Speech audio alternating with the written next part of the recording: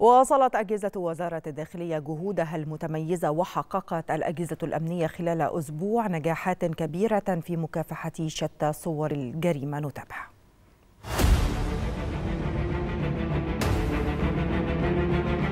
جهود متميزة لأجهزة وزارة الداخلية على مستوى الجمهورية خلال أسبوع حققت خلالها الأجهزة الأمنية نجاحات كبيرة في مكافحة شتى صور الجريمة. فمن خلال استهداف وضبط العناصر الإجرامية شديدة الخطورة أسفرت جهود الأجهزة الأمنية عن ضبط عدد 353 عنصرا إجراميا شديد الخطورة بنطاق 23 مديرية أمن والسابق اتهامهم في العديد من القضايا أبرزها سرقة سلاح مخدرات قتل وضبط معهم 211 قطعة سلاح ناري وكميات كبيرة من الطلقات مختلفة الأعيرة والمواد المخدرة. وفي مجال استهداف البؤر الإجرامية شديدة الخطورة بمنطقة بحيرة منزلة بنطاق محافظات دمياط وبورسعيد والدقهلية. ومنطقة السحر والجمال بنطاق محافظتي الشرقية والإسماعيلية. تم ضبط 57 متهما وضبط معهم أسلحة نارية ومواد مخدرة.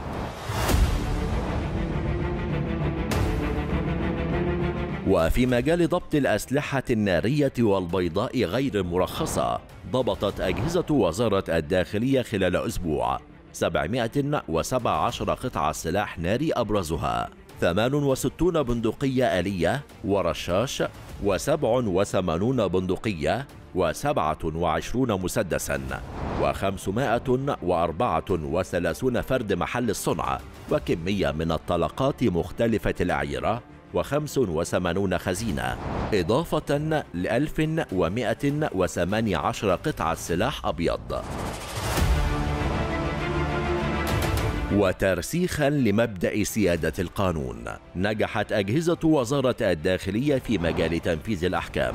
في تنفيذ 433042 حكما قضائيا من بينهم.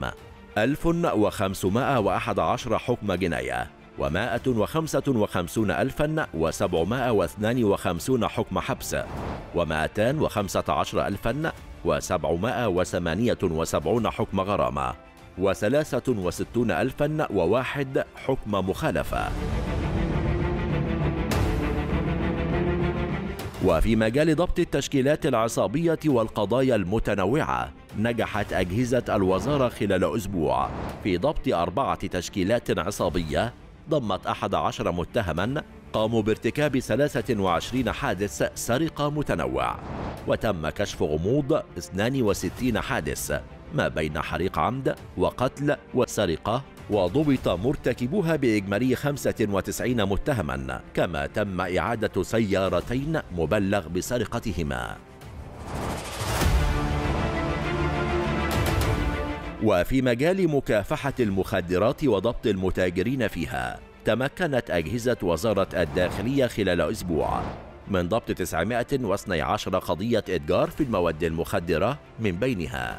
قرابة 61.5 كيلوغرام من مخدر الحشيش وما يقرب من 171.5 كيلوغرام من نبات البنجو المخدر وكمية من مخدر الهروين وزنت ما يقرب من 21 كيلوغرام وضبط قرابة 7 كيلوغرام من مخدر الأيس الشابو إضافة إلى أكثر من 12 كيلوغرام من مخدر الاستروكس. وعدد 10352 قرص مؤثر و1198 قرص ترامادول مخدر. هذا وتقدر القيمة المالية للمواد المخدرة بحوالي 14 مليون جنيه. كما تم ضبط قضيتي غسل أموال قدرت قيمة الممتلكات فيهما بقرابة 60 مليون جنيه متحصلة من الإتجار غير المشروع بالمواد المخدرة.